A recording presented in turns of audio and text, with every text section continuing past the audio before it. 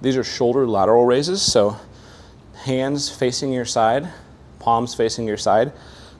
Then from here, knees soft, feet right underneath your hips, and you're just going to raise your arms out to the side. So right there, pause, and then come back down. Pause, and come back down. So you're going to raise your arms straight out, knuckles facing the ceiling on this. Nice, slow, controlled movement.